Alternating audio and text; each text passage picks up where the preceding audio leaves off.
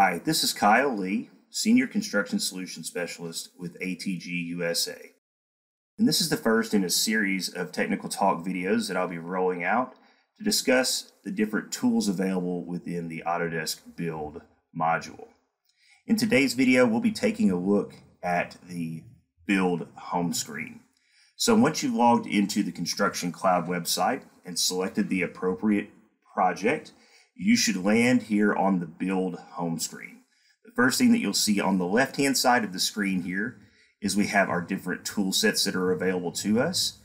And if you would like, you have the ability to click this arrow here to collapse that down so that only the icons are visible, and this will free up just a little bit more room on your working monitor.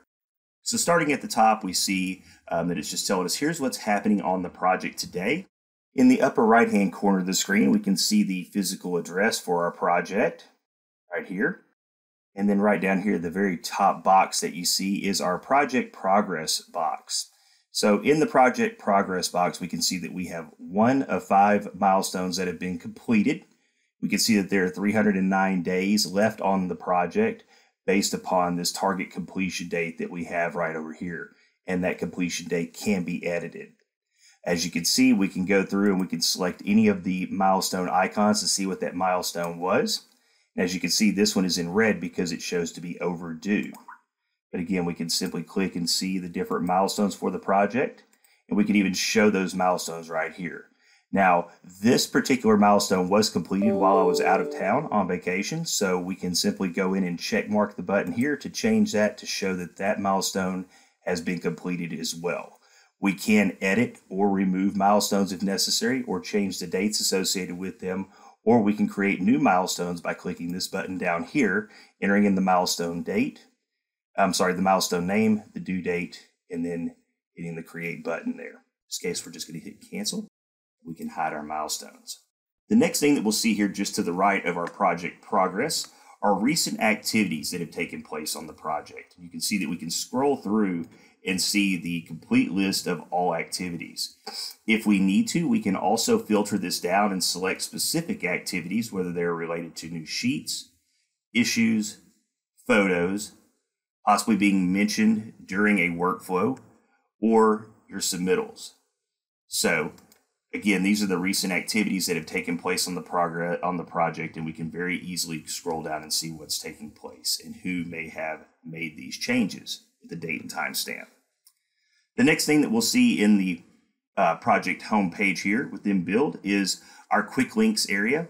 And these quick links will show will take us to the either the sheets or the members. And this at a very quick glance will tell us the number of active sheets that we have on the project and the um, number of active team members as well.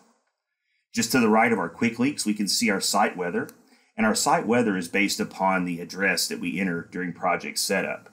So as you can see here, we're expecting some rain today with the high of 94 degrees in North Little Rock, Arkansas.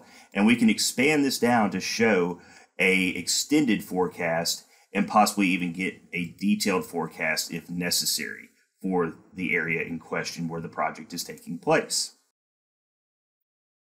The next thing that you'll see in the project homepage as we scroll down here inside of Autodesk Build is we'll see that we have our work status area. So this is going to call out a couple of different things here. This is going to call out different um, assignments that are in our name specifically, whether this is related to issues, RFIs, or possibly even submittals. We'll also see the project work that's been assigned overall. So this is a very quick and easy way to see what's taking place on the project and what may be responsible to you, as well as responsible for the project overall, and we can quickly select this right here. We can click here to jump directly into the issues area to see which two issues are overdue if necessary. The next area that we'll speak about here very quickly is our mobile sync status area. So this is going to tell us the percentage of people within our project, project team members that actually have the most up-to-date version of the project that's been downloaded to their mobile device for use out in the field. As you can see here, 100% of the project members are using the most recent version of this project on the mobile device currently. And we can see that the last project updates took place on the 21st of July. The very next thing, and this is a new feature that has been included um, just recently is this bridge area. And as you can see, this is currently in its beta version. And so we'll talk about this in more detail in a future Tech Talk video. But what this bridge area allows us to do is it allows us to take published sheets from our project and share those with another Autodesk Construction Cloud project that we've been invited into. Uh, this is a very um, very big development in my opinion because this is a, the first step in the right direction of being able to share data across projects.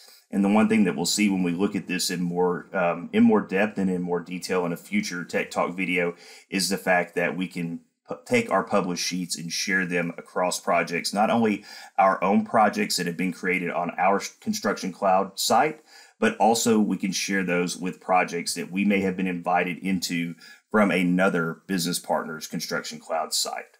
So more to come on the bridge functionality in the future recording covering the sheets area. So thanks for joining me for today's Tech Talk video. I hope this has been informative and I look forward to providing more of these in the future. So stay tuned.